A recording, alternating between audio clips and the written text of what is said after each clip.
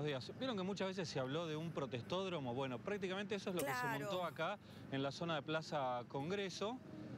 Todas aquellas eh, agrupaciones políticas, sociales, sobre todo de derechos humanos, algunos gremios también que quieren manifestar su oposición a la cumbre de líderes del G20, al G20 en general, también al acuerdo con el Fondo Monetario Internacional. Bueno, todos confluyen, valga la redundancia, porque justamente a la agrupación la han nombrado confluencia, aquí en la zona del Congreso, en la Plaza del Congreso.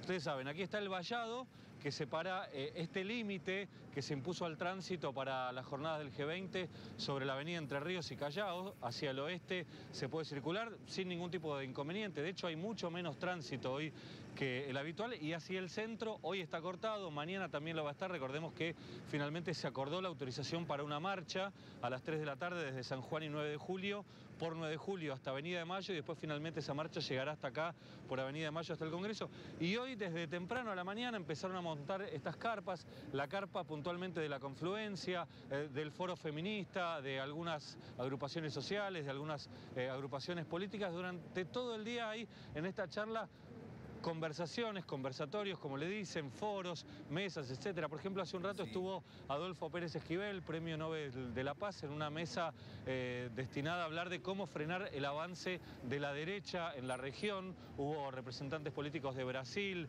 de distintos eh, países de Latinoamérica, pero si le parece, hablamos brevemente con Mariano Sánchez Toranzo, que es de la organización. Bueno, Mariano, ¿qué está previsto para, para hoy, para durante todo el día aquí en esta zona del Congreso?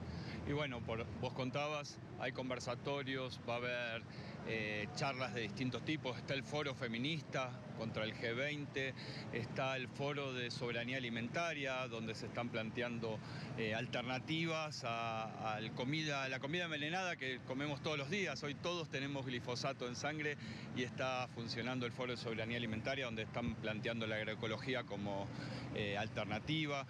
Ahora